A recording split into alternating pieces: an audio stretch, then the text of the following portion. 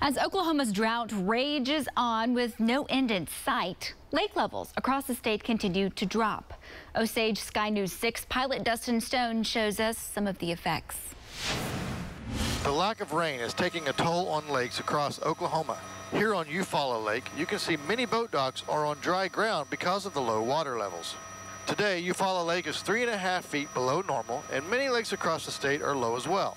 U.S. Army Corps of Engineers hydrologist David Williams says while lake levels are certainly low right now, in the grand scheme of things, we're doing okay. They're pretty resilient and resistant uh, in terms of drought. Um, however, as the drought continues, if, if, if, the drought continues into, into the fall and, and on into the spring and becomes a, a more severe event, then you'll start to see bigger impacts uh, at the reservoirs. Williams says some of the biggest impacts could be on lakes that use water for hydroelectric power like Fort Gibson.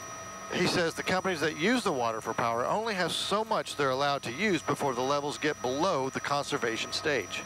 The longer you go into a drought, um, the, the more impacts you'll see to um, those users, such as the water supply users or the hydropower users. Williams says they'll be watching the drought conditions closely over the next several months.